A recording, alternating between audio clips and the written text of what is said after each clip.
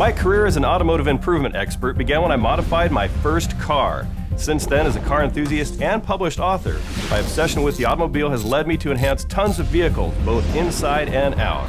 That's why I'm thrilled to be a part of a brand new series designed to help keep your car looking great and your engine running like new. I'm Chris Duke, and welcome to eHow's Auto Center, brought to you by Mobil 1. Hey Chris, I'm thinking about buying some aftermarket wheels to increase performance on my car. What else should I consider?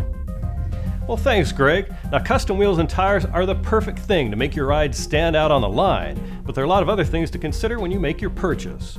Your tires are carrying the weight of your car, so if you decide to customize your tires, make sure you select tires with the same or higher load and speed rating for your specific vehicle.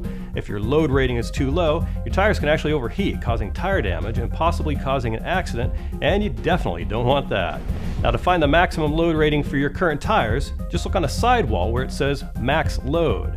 So before you plop down a ton of cash on the wrong decision, here are a few other things to consider. If you're thinking about going with a larger wheel and tire combination, be careful.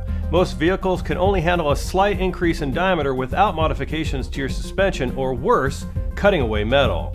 So you want to avoid increasing the overall diameter, or if you do, be sure to go with a tire that has less sidewall. The weight of a wheel is another factor. If you're thinking about going with a larger wheel and tire combination, be careful. Sure, it looks cool, but there are a few drawbacks. First, there's the weight problem. More metal means more weight, and that could decrease overall performance because your engine's got to push a heavier vehicle. That isn't always the case, however. If you're moving from steel wheels to aluminum wheels, then you might actually be losing weight, even with a larger diameter wheel. This also leads to a rougher ride, but it does have the benefit of better cornering due to the decrease in sidewall flex. Changing the diameter of the tire will also change your speedometer, giving you an incorrect speed. This is a quick way to get a speeding ticket if you don't correct it. Now on late model vehicles, a programmer will do the trick. On older vehicles, you'll have to change the speedometer gear in the transmission. If your goal is to take your truck or SUV off-roading, then you're probably looking at increasing your tire diameter and possibly going with a more aggressive tread. Larger tire gives you more ground clearance, and the change up in tread will give you a better performance on rough terrain. Muscle car owners and racers like to opt for wider tires because they create a larger contact patch improve stopping distance, and decrease loss of traction when accelerating hard. The downside to wider tires is that they decrease your gas mileage due to all the extra friction and weight. When in doubt, check with your vehicle manufacturer's recommendation for wheel and tire sizes. If you do want to push it, just be sure to do your research. There's a lot of online enthusiast forums out there, and there's most likely one for your vehicle. Why not log in, introduce yourself, and ask for their recommendations?